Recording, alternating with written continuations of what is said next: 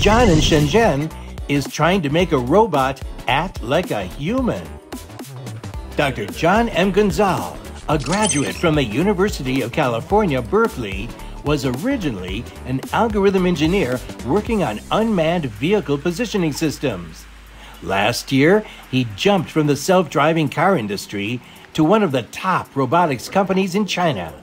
Because I enjoy using mathematics, physics, um, software, and engineering tools to solve real world problems. You know, here I have the opportunity to leverage my multidisciplinary training and technical skill set to make a meaningful positive impact on society.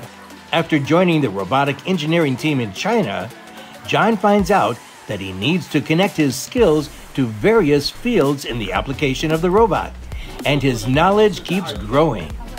At the same time, he gains rich experience in teamwork, especially in English and Chinese. The engineers at UBTECH are divided into teams that focus on specific functionality. So I work with engineers across these teams to add intelligent capabilities to our robots. So I've strengthened my expertise in navigation algorithms, localization algorithms, fleet control algorithms, especially um, language skills in English and Chinese since I have to coordinate between teams here in China and in the US. And now, Jon is working on a healthcare robot, which is quite an inspiring and exciting experience. I've learned that any robotic solution really needs to address the true problem or the pain points that medical staff or elderly you know, face out in the field.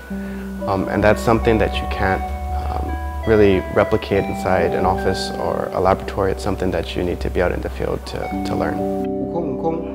Oh.